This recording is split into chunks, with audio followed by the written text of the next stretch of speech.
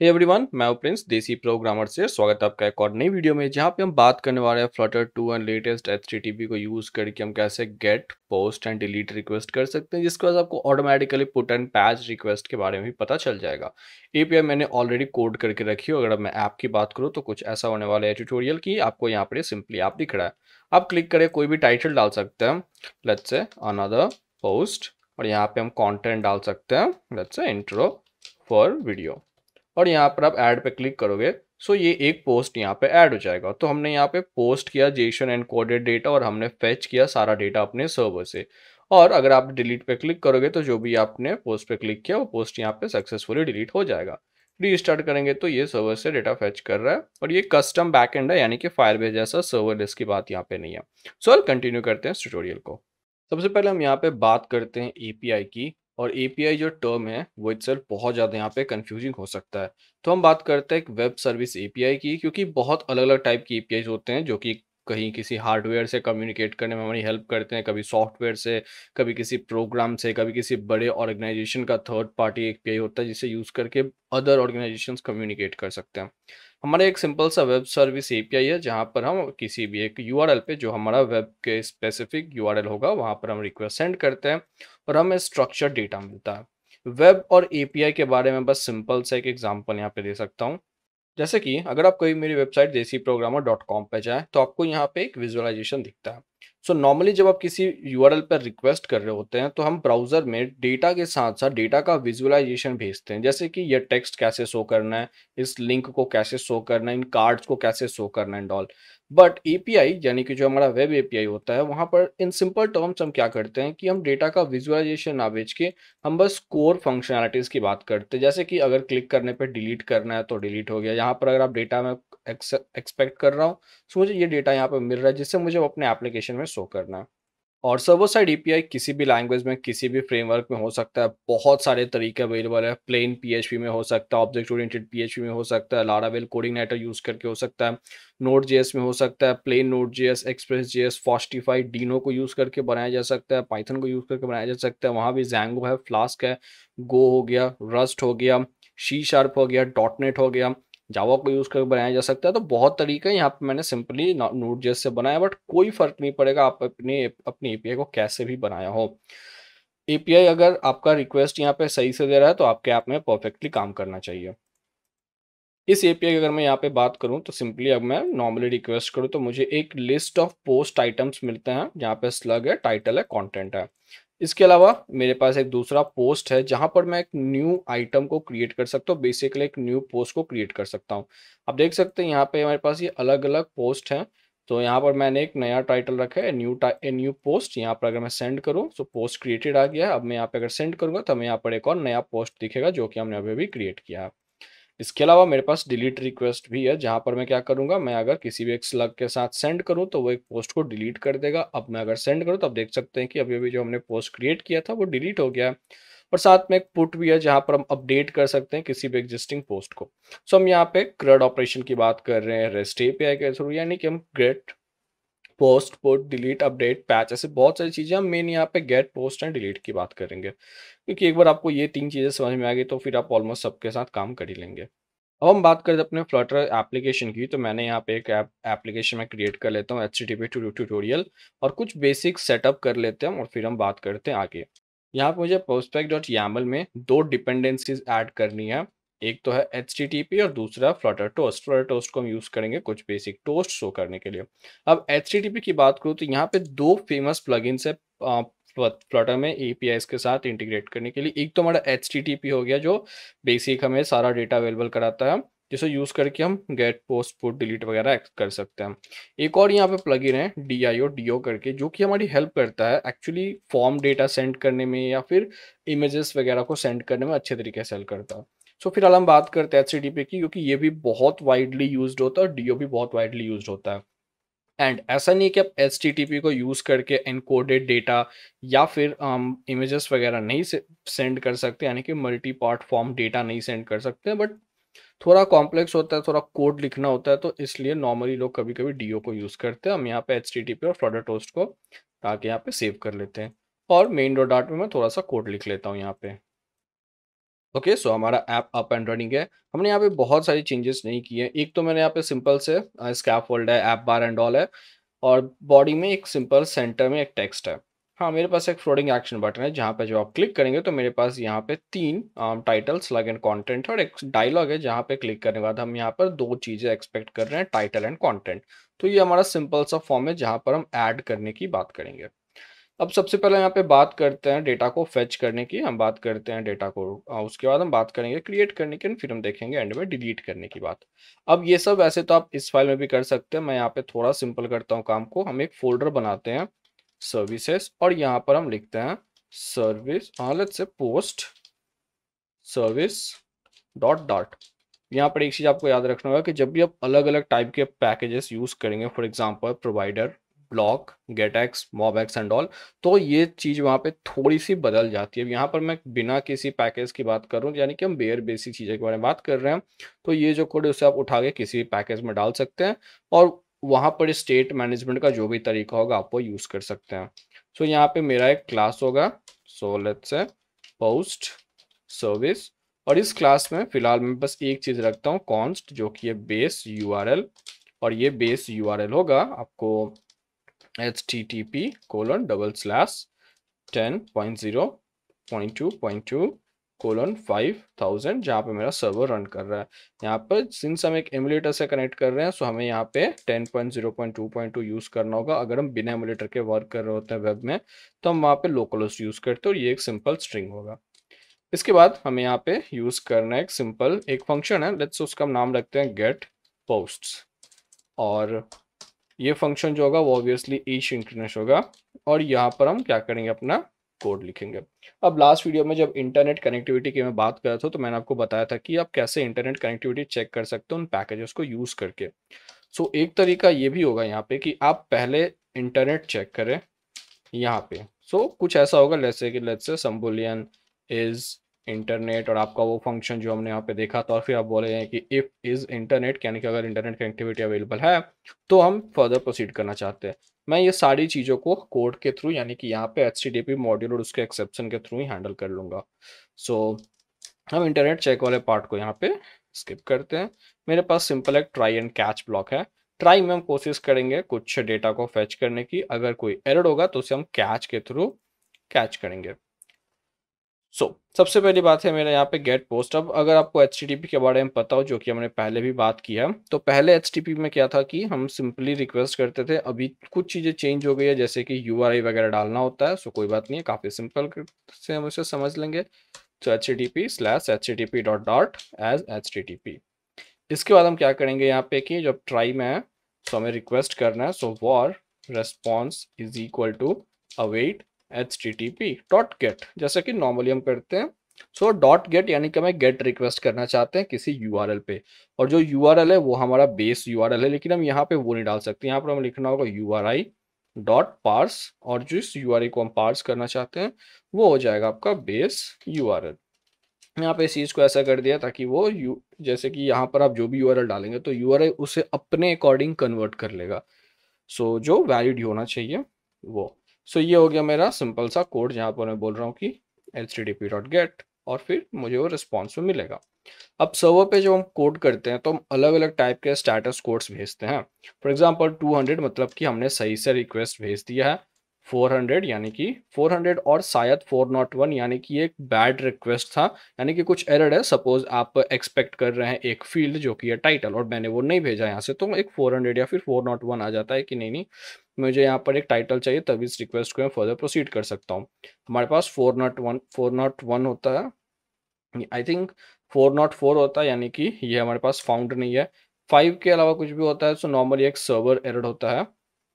और इसके अलावा एक होता है नॉन ऑथोराइज एक्चुअली हाँ फोर हंड्रेड यानी कि bad request and four not one यानी कि नॉट ऑथराइज यानी कि बिना ऑथराइज रिक्वेस्ट है। यहाँ पर हमें प्राइवेट है तो हमें एक यूज़र चाहिए, यानी कि कोई टोकन वगैरह चाहिए। वेल एनीवे सो सिंस मैंने यहाँ पर रिक्वेस्ट किया, अब हम यहाँ पे चाहे तो सारे रिस्पॉन्स कोड्स को चेक कर सकते हैं बट वो डिपेंड करता है। सिंस मैं यहाँ पे फेच करना चाह रहा हूँ सो so यहाँ पे जो मेरा स्टेटस कोड है, अगर वो 200 है, यानी कि डेटा मुझे सक्सेसफुली मिल गया।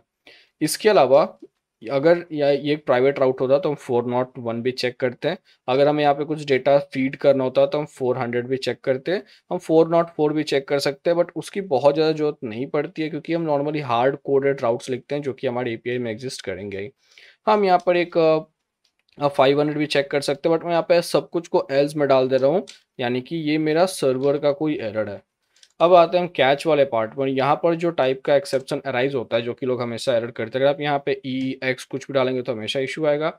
आपको यहाँ पे डालना होगा कि आप सॉकेट एक्सेप्शन को कैच करना चाहते हो। यानी कि अब चाहे कोई भी एक्सेप्शन हो इंटरनेट ना हो टाइम आउट एरर हो गया हो डीएनएस रिजॉल्व नहीं हुआ हो सर्वर के पास कोई इशू हो तो वो यहाँ पे कैश हो जाएगा। और मैं यहाँ पर इसे बोल देता हूँ फेचिंग एरर यानी कि फेच करने में ही एरर है। हम सर्वर तक पहुँचे ही नहीं कि हमें पता चला कि क्या एरर था। सो ये है मेरा यहाँ पे सिंपल सा रिस्पॉन्स अगर स्टार्टस को टू हंड्रेड हो तो हम यहाँ पे सिंपली अभी प्रिंट कर देते हैं हम अपने रेस्पॉन्स डॉट बॉडी को। अब यहाँ पे बात आती है कि हमें इसे बिल्ड कैसे करना है। सो so, अलग अलग तरीके से आप इसे बिल्ड कर सकते हैं जैसा आपका ए एपीआई का इम्प्लीमेंटेशन हो मेरा इम्प्लीमेंटेशन फ़िलहाल काफ़ी सिंपल है। बॉडी में जो यहाँ मेरे पास सेंटर है मुझे ये नहीं चाहिए। मैं यहाँ पर एक फ्यूचर बिल्डर को यूज़ करना चाहता हूँ। फ्यूचर बिल्डर क्या करेगा? ये रिक्वेस्ट करेगा। हर बार जब आप इस स्क्रीन को खोलेंगे हम वहाँ पर रिक्वेस्ट करने वाले हैं एपीआई से और एपीआई से जो डेटा आएगा वो हम यहाँ पर पॉपुलेट कर देंगे।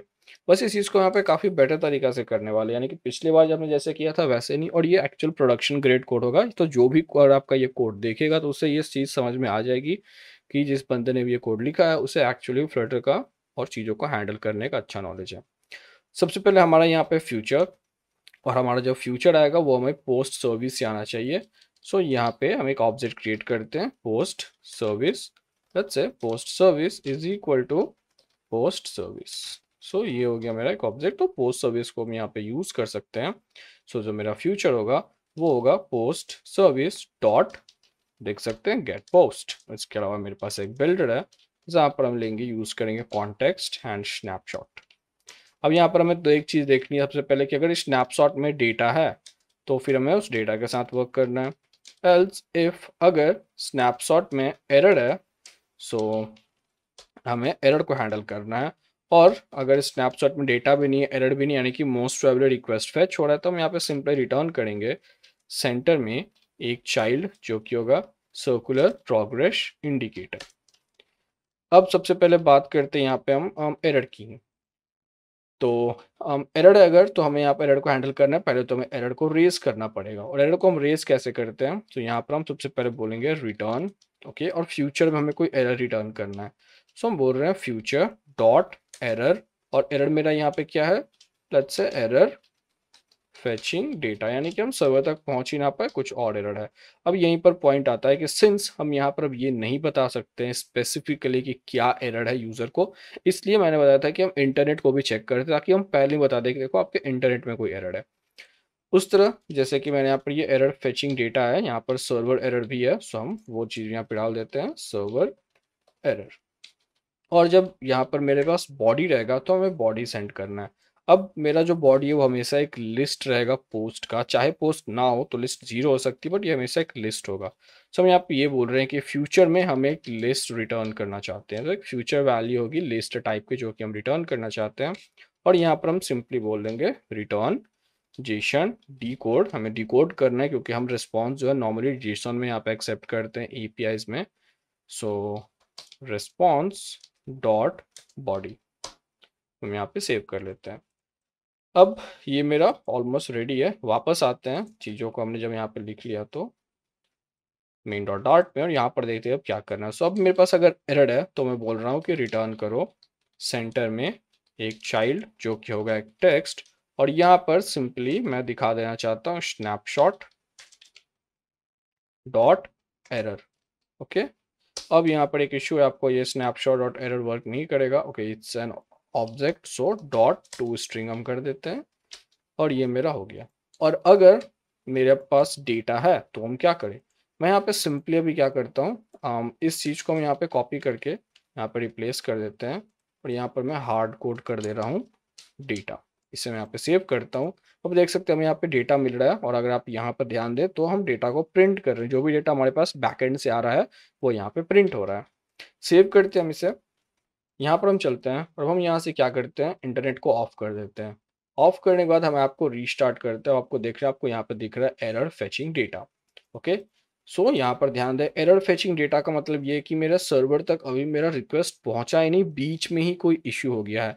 और सिंस हम यहाँ पे नहीं बता सकते इंटरनेट नहीं है एंड ऑल तो ठीक है, मैंने एरर फेचिंग डेटा बोल दिया। कोई बहुत बड़ी बात नहीं, इतना आपको खुद से भी करना होगा। आपको जिस भी टाइप का इंटरनेट कनेक्टिविटी चेक करना, आप यहाँ पे कर सकते हैं। अब सपोज़ अगर मैंने यहाँ पे मोबाइल डेटा को ऑन कर दिया है। अब अगर मैं सेव करूँ तो यहाँ पर हमें डेटा मिल जाएगा। बट मैं क्या करता हूँ, मैं थोड़ा अपने सर्वर को यहाँ पे क्लोज करता हूँ। तो हो सकता है आपको ये कोड समझ में ना आए, कोई बात नहीं है। मैंने जैसे मैंने कहा, ये एक्चुअली एक बैक एंड डेवलपर का वर्क करता है, जो वेब के साथ काम कर रहे होते हैं तो अगर आपको कोड समझ में ना भी, अगर आप एक बिगिनर है, केवल फ्लटर जानते हैं तो अगर आपको कोड समझ में ना भी है तो कोई इशू नहीं है। अब मैं यहाँ पे अगेन सेव करता हूँ, अब आपको यहाँ पे दिख रहा है सर्वर एरर क्योंकि ऑब्वियसली यहाँ पर हम सर्वर तक पहुँचे, और मेरे सर्वर ने यहाँ पे एरर सेंड किया है कि पता नहीं, कुछ तो इशू है 500 कोड के साथ तो ये मेरा हो गया सर्वर एरर तो ऐसे हम यहाँ पे एरर को हैंडल कर सकते हैं। तो चलिए सर्वर एरर को हमने सॉल्व कर लिया। ये एक इंपॉर्टेंट चीज़ हमने यहाँ पे देख ली कि हम कैसे एरर को रिटर्न कर सकते हैं। नेक्स्ट चीज़ यहाँ पे हम देखते हैं कि हम कैसे अपना डेटा बिल्ड करें। काफ़ी सिंपल है फ्यूचर बिल्डर में हम पहले तो मैं यहाँ पे बता देता हूँ कि हम लिस्ट टाइप का डेटा के अकॉर्डिंग बिल्ड कर रहे हैं। तो अगर स्नैपशॉट में डेटा है सो so, सबसे पहले मैं यहाँ पे चेक करना चाहता हूँ कि अगर डेटा की लेंथ ज़ीरो है तो मैं बताऊँगा कि नो पोस्ट एक्चुअली हम बैक करते हैं।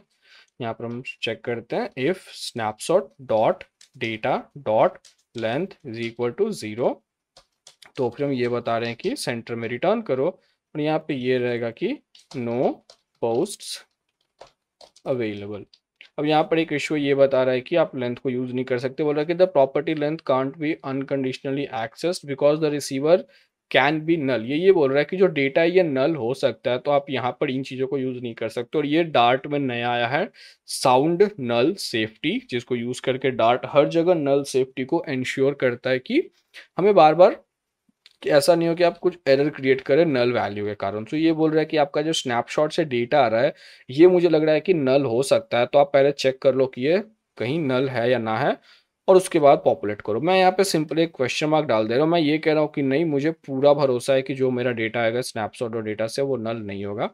सो अब हम चलते हैं यहाँ पे। Length is equal to zero तो हम यहाँ पे ये रिटर्न कर देते हैं। और अगर ऐसा नहीं है तो हम यहाँ पे सिंपली रिटर्न करते हैं। एक लिस्ट व्यू डॉट बिल्डर यहाँ पर जो मेरा आइटम बिल्डर है, वो आपको होगा। सबसे पहले यहाँ पर अभी हम यूज़ करते हैं कॉन्टेक्स्ट और इंडेक्स तो हर एक इंडेक्स के लिए डेटा यहाँ पे बिल्ड हो जाएगा। फिर रिटर्न कर रहे हैं लिस्ट टाइल बाय जिन लोगों को ये चीज़ें आती है, उन्हें अभी थोड़ा सा बोरिंग लग रहा होगा बट अगेन मैं यहाँ पे इसको कंप्लीट करके फिर हम गेट की बात करते हैं। आइटम काउंट मेरा सिंपली होगा snapshot dot data dot length यानी कि जितना डेटा उतने के लिए मैं लिस्ट स्टाइल को क्रिएट करना चाहता हूँ। और लिस्ट स्टाइल में सिंपली लेट से मैं यहाँ पे टाइटल सेट कर देता हूँ एक टेक्स्ट जो कि आपको आएगा snapshot dot data dot data का जो इंडेक्स होगा, इस वाले पर्टिकुलर इंडेक्स के डेटा को मैं यूज़ कर रहा हूँ। और यहाँ से मैं पिक कर ले रहा हूँ टाइटल सेव करता हूँ, आपको जितने भी पोस्ट है, उसके आपको यहाँ पे टाइटल दिख जाएँगे। एक मैं रिफ्रेश करता हूँ, आप देखें कि पहले कुछ सेकंड्स के लिए मैं यहाँ पे एक सिंपल सा सर्कुलर प्रोग्रेस इंडिकेटर दिखता है और फिर उसके बाद हमें ये पोस्ट दिख जाता है क्योंकि ये तीनों पोस्ट यहाँ पे अवेलेबल है। थोड़ा सा कंटेंट हम सब टाइटल में भी दिखा सकते हैं। तो लेट से ये हो गया मेरा कॉन्टेंट और ये चीज़ आपको टाइटल की जगह आ रहा है। सब टाइटल में सेव करते हो, जो भी कॉन्टेंट है यहाँ पे अब सब टाइटल में दिख रहा है। सो so, ये हमने क्या किया? हमने सिंपली अभी एक चीज़ देखी है कि हम कैसे गेट रिक्वेस्ट कर सकते हैं एच को यूज़ करके और जो मेन कोड का पार्ट है वो बस इतना है। यहाँ पर आप अलग अलग स्टेटस कोड्स को चेक कर सकते हैं अपने फिजिबिलिटी के अकॉर्डिंग और आपका एपीआई का जो काम है उसके according but again most API JSON he return करते हैं। अब एक्सएमएल या फिर यामल वाला जमाना तो बिल्कुल नहीं है। इसलिए तो हम यहाँ पे जेशन एन कोड यूज़ करेंगे जब भी हमें कोई डेटा भेजना होगा और डी कोड यूज़ करेंगे जब भी हम सर्वर से कोई डेटा एक्सेप्ट करेंगे। और ऐसे हम एरर को हैंडल करते हैं। तो हम बात करते हैं कि हम कैसे पोस्ट कर सकते हैं जेशन एनकोडेड डेटा को, यानी कि हम कैसे एक पोस्ट को क्रिएट कर सकते हैं यहाँ पे। सो अब तक हमने डेटा को फैच किया ये तीन पोस्ट हमारे पास अवेलेबल है। और जैसे मैंने बताया मैंने पहले से एक बेसिक सा यहाँ पे सो डायलॉग सेट कर रखा है जहाँ पर एक सिंपल सा फॉर्म है। ऑल दो यहाँ पे फ्रंट एंड वैलिडेशन नहीं कर रहा हूँ अभी सिंपल चीज़ें हैं बट यहाँ पे मेरे पास दो एलिमेंट्स है दो टेक्स्ट फॉर्म फ़ील्ड है और एक मेरे पास सिंपल सा बटन है। सो so, नॉर्मली आप यहाँ पे जब क्लिक करेंगे आपको एक टाइटल एंड कंटेंट दिखेगा। मैं यहाँ पे जो भी डेटा क्लिक डालूँगा और ऐड पे क्लिक करूँगा तो यहाँ पे वो मिल जाएगा हमें। तो सबसे पहले मैं ये सेटअप कर लेता हूँ। अगर आप यहाँ पे ध्यान दें जो हमारा बेसिक सर्वर है सो so, मुझे यहाँ पे तीन चीज़ें चाहिए। मुझे यहाँ पे इस यू पे पोस्ट रिक्वेस्ट रेज करना है। बॉडी में जेशन फॉर्मेट में तीन डेटा चाहिए हमें। Title slug and content title और कॉन्टेंट जो है वो मैं यूज़र से एक्सपेक्ट कर रहा हूँ। स्लग जो है वो मैं टाइटल से क्रिएट कर लूँगा। कैसे करेंगे? ऑन चेंज जो हमने सब कुछ डाल रखा है तो सिंपली जब कोई यहाँ पे क्लिक कर रहा है पहले मैं बस प्रिंट कर लेता हूँ। सो so, प्रिंट करते हैं यहाँ पर हम टाइटल अब स्लग जो मेरा आएगा वो आएगा। So slug is equal to slug so जो मेरा टाइटल है बेसिकली मैं टाइटल को यहाँ पे स्प्लिट कर रहा हूँ। और जो भी वहाँ पर स्पेसेस होंगे, उसको मैं स्प्लिट करके उसको मैं वापस ज्वाइन कर दूँगा डैसेस के साथ। ये हो गया मेरा सिंपल सा स्लग और ये स्प्लिट स्प्लिट अगेन बोल रहा है कि नल हो सकते हैं तो इससे मैं यहाँ पे क्वेश्चन मार्क डाल देता हूँ। और यहाँ पर हम प्रिंट कर लेते हैं स्लग और फिर हम यहाँ पे प्रिंट कर लेते हैं को कंटेंट मैं इसे यहाँ पे सेव कर लेता हूँ। इसे हम करते हैं क्लियर प्लस पे क्लिक करते हैं। कुछ भी random title let's say new title for post और यहाँ पे कुछ भी हमारा कंटेंट तो मैं क्लिक करके मैं ऐड पे क्लिक करता हूँ आप यहाँ पे देख सकते हैं मेरे पास है टाइटल स्लग और कंटेंट मुझे सिंपली यहाँ पर एक पोस्ट रिक्वेस्ट करना है ताकि मैं इस कंटेंट को क्रिएट कर सकूँ। सो so, अब पोस्ट रिक्वेस्ट की अगर हम बात करें तो सबसे पहले अगेन आपकी एपीआई डिज़ाइन पे डिपेंड करता है कि आप क्या करना चाहते हैं पोस्ट के बाद आप क्या बताना चाहते हैं यहाँ पे। मैं सिंपली यहाँ पे पोस्ट करने के बाद इस डायलॉग को मैं हाइड कर दूँगा एक सिंपल सा टोस्ट शो करूँगा कि आपका पोस्ट सक्सेसफुल हुआ है या नहीं। सो so, फ्यूचर में हम एक वैल्यू रिटर्न करना चाहेंगे जो कि टाइप होगा स्ट्रिंग और बेसिकली हम उस स्ट्रिंग को वहाँ पर फर्दर पार्स कर लेंगे। इसका मैं नाम दे देता हूँ क्रिएट पोस्ट और क्रिएट पोस्ट में हम as a map data expect कर रहे हैं। सो so, मेरे पास मैप होगा स्ट्रिंग और डायनामिक बोल से अगर आप ये चीज़ नहीं भी लिखे तो कोई फ़र्क नहीं पड़ता। ये हो गया डेटा एक एशिंक्रेस ऑपरेशन रहेगा। हमने जो यहाँ पे किया हमें ऑब्वियसली सेम ऑलमोस्ट सेम चीज़ करनी है। तो मैं सबसे पहले इस चीज़ को यहाँ से कॉपी कर लेता हूँ। यहाँ पर हम पेस्ट कर देते हैं। और ये जो यहाँ पे गेट है ये हो जाएगा अब यहाँ पे पोस्ट पोस्ट करते हुए हम यहाँ पे बॉडी डाल सकते हैं। सबसे पहले मेरे यू आर पार्ट है, मुझे बेस यूआरएल के साथ एक स्लैश क्रिएट भी चाहिए। सो ये मैं यहाँ पर एज ए स्ट्रिंग यूज़ कर लेता हूँ। डॉलर बेस यूआरएल यानी कि यहाँ पे वेरिएबल की जो भी वैल्यू है वो ऐड हो जाएगी स्लैश क्रिएट और ये हो गया मेरा यू आर यहाँ पे दूसरी चीज़ जो मुझे चाहिए वो है मेरा बॉडी बॉडी हमेशा जीसन एनकोडेड डेटा होना चाहिए। सो हम यहाँ पे बोल रहे हैं जीसन एनकोड और हम एनकोड करना चाहते हैं अपने इस पर्टिकुलर मैप को। और थर्ड एक और यहाँ पे इंपॉर्टेंट चीज़ है जो लोग भूल जाते हैं एपीआई टेस्टिंग का टाइम जो भी हमारा टेस्टिंग क्लाइंट होता है थंडर क्लाइंट हो गया पोस्टमैन हो गया इंसोमनिया हो गया वो ऑटोमेटिकली जो भी हेडर्स ज़रूरी है वो ऐड कर देता है। बट हमें यहाँ पे खुद से ऐड करने होंगे तो मुझे यहाँ पर एक सिंपल हेडर चाहिए फ़िलहाल जो कि है कॉन्टेंट टाइप अगर आप ऑथेंटिकेशन वगैरह ऐड करें तो फिर आपको ऑथ हेडर्स भी यहाँ पर डालने पड़ेंगे। सो so, ये मेरा सिंपल सा हो गया कॉन्टेंट डैश टाइप और जो मेरा कॉन्टेंट का टाइप है वो हो जाएगा एप्लीकेशन स्लैश जेशन ठीक है? और इस चीज़ को एज इट इज़ टाइप करना होगा वरना इश्यू आएगी।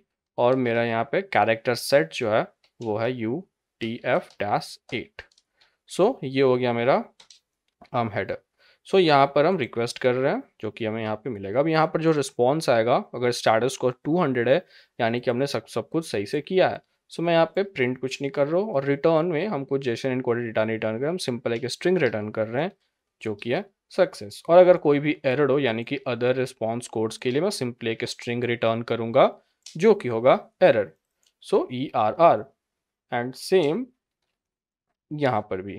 सो so, इसे हम पेस्ट कर देते हैं और सेव करते हैं. सो so, ये हो गया हमारा पूरा काम जो कि ऐसे करके हमें यहाँ पे मिलेगा. अब मुझे क्या करना है? मुझे वापस जाना है मेन डॉट डॉट में मुझे यहाँ पे से भेजना है एक मैप इन तीनों डेटा का. Right right? सो so, मेरे पास होना चाहिए टाइटल स्लग एंड कॉन्टेंट सबसे पहले हम बनाते हैं एक मैप जो कि होगा डेटा यहाँ पर एक की हो गया मेरा टाइटल जो कि ये जो टाइटल वैल्यू है एज इट इज़ दूसरी मेरी की हो गई स्लग अब आप वहाँ भी स्लग को बना सकते हैं या फिर यहाँ भी बना सकते हैं, मैंने ऑलरेडी वहाँ की क्रिएट किया हुआ है तो मुझे एज इट इज़ छोड़ दूँगा। ये हो गया मेरा स्लग और ये हो गया मेरा कॉन्टेंट सो ये हो गया मेरा मैप डेटा इन दो लाइन्स को मैं हटा देता हूँ स्लग को छोड़ के, ये टाइटल को भी मैं हटा देता हूँ। अब यहाँ पर मुझे क्या करना है? मुझे एक तो मुझे make request okay wait for response कि मुझे वहाँ से क्या रिस्पॉन्स आ रहा है? और उसके बाद मुझे क्या करना है? सो करना है टोस्ट को। So again W E I T wait so make request हम कैसे करेंगे? सिंपल मेरे पास यहाँ पे पोस्ट सर्विस ऑलरेडी है। सो डॉट यहाँ पे आपको दिख जाएगा क्रिएट पोस्ट जो कि डेटा एक्सपेक्ट कर रहा है, जो कि हम ऑलरेडी यहाँ पे भेज रहे हैं।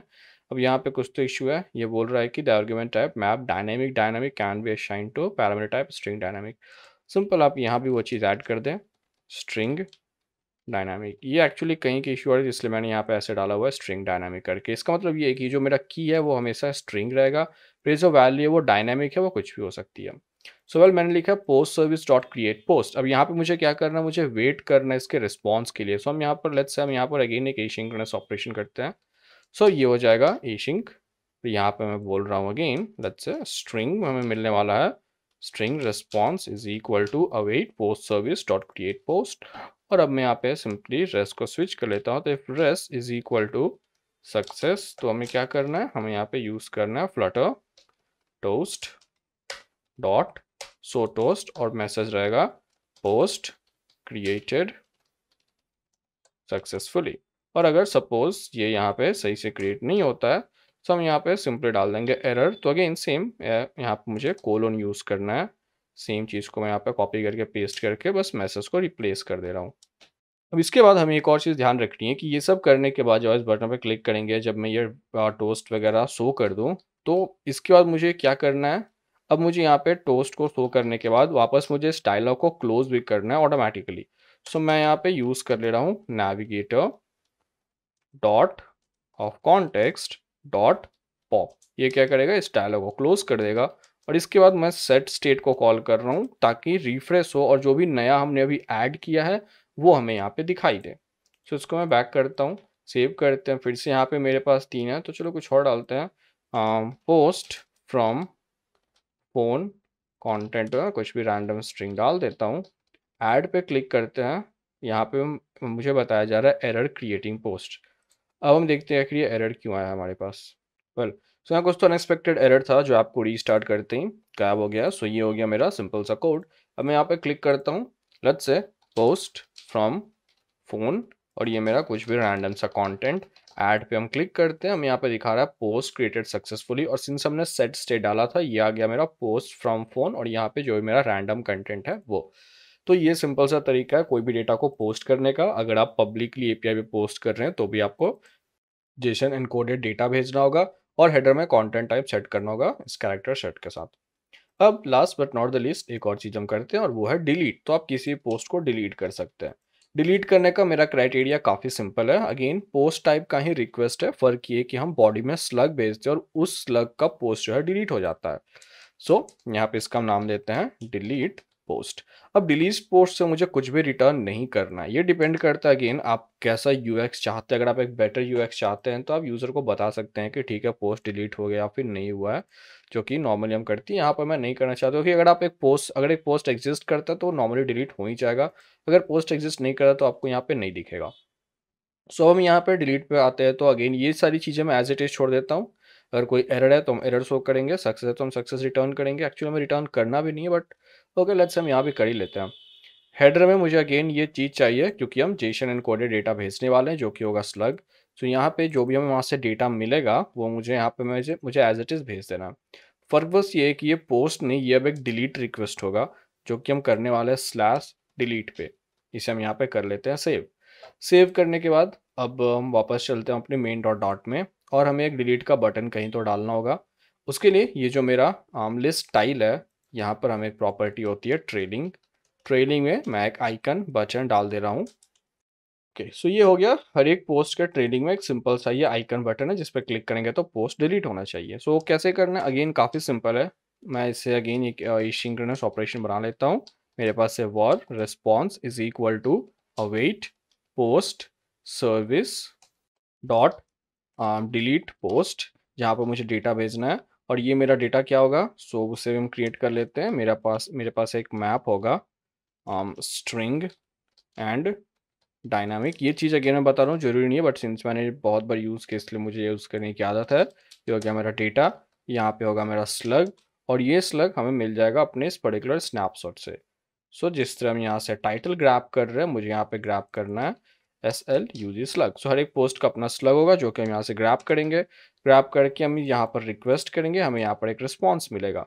और जो चीज़ हमने यहाँ पे की है कि अगर रिस्पॉन्स सक्सेस है तो हमें यहाँ पे सक्सेस बताना है।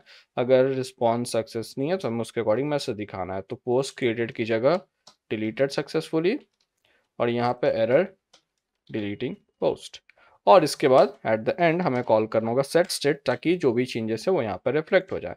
इससे हम यहाँ पे सेव करते हैं। आई होप हमने यहाँ पे सब कुछ सही रखा है, ठीक है? स्लैश डिलीट एंड ऑल अब अगर मैं इस पर क्लिक करूँ तो आप देख सकते हैं ये पोस्ट डिलीट हो गया और हमें यहाँ पे मैसेज दिख रहा है पोस्ट डिलीटेड सक्सेसफुली मैं इसे भी डिलीट कर सकता हूँ। क्लिक करके हम बोल सकते हैं let's new title and content we just learn about H T P request in Flutter add पे मैं क्लिक करता हूँ और ये मेरा एक new title we just learn about H T P request in Flutter click करें, डिलीट करें और आप क्लिक करें और ऐड करें। तो इसके अलावा यहाँ पर एक और सिंपल सी चीज़ है जिसके बारे में बात करना चाहता हूँ, वो है time out request. So normally जब आप रिक्वेस्ट करते हो और लेट्स से सर्वर के पास कोई एरर है तो हम सारे एरर्स को यहाँ पे सॉकेट के थ्रू कैच कर सकते हैं। पर जब ये टाइम आउट होता है तो हम उस एरर को यहाँ पे कैच नहीं कर पाते हैं। लेट्स सी अगर मैं उस एरर को यहाँ पे क्रिएट कर सकता नहीं, मैं यहाँ पे अपना सर्वर क्लोज कर दे रहा हूँ, ओके? और मैं इसे अब यहाँ पे सेव कर रहा हूँ। इसे हम एक बार रीस्टार्ट करते हैं और देखते हैं कि यहाँ पे वो एरर हमें कैच हो रहा नहीं। सो कि आप देख सकते हैं यहाँ पे राउंड राउंड घूम रहा है बेसिकली रिक्वेस्ट करने की कोशिश कर रहा है।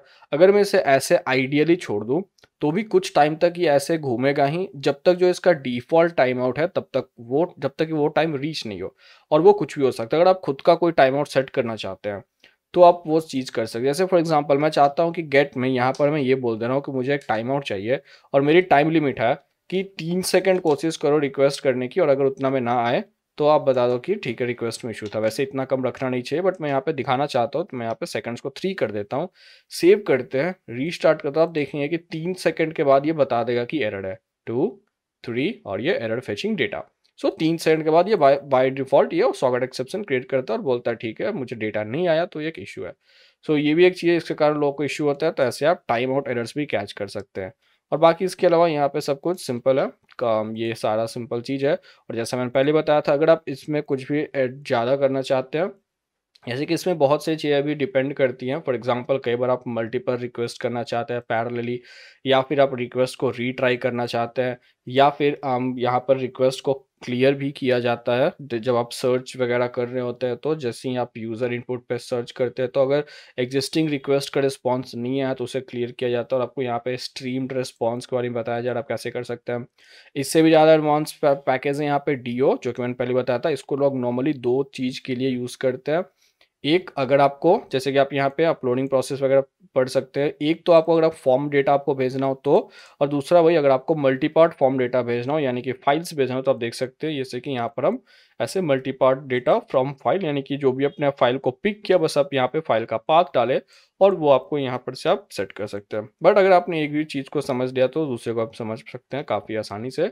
अगर आप चाहते हो तो हम कभी देख सकते हैं कभी बना सकते हैं डीआईओ पैकेज के ऊपर भी एक वीडियो बट फ़िलहाल आज के इस वीडियो में बस इतना ही, जहाँ पे हमने देखा कि हम कैसे फ्लटर टू और एच टी को यूज़ करके रिक्वेस्ट क्रिएट कर सकते हैं क्रिएट पोस्ट डिलीट इसके अलावा पुट है पैच है बट प्रोसेस सेम है। अगर आपको एक बार बॉडी और हेडर के साथ रिक्वेस्ट करना आ गया और बॉडी और हेडर के बगैर रिक्वेस्ट करना आ गया तो काफ़ी, बाकी सारी चीज़ें ऑलमोस्ट सेम है।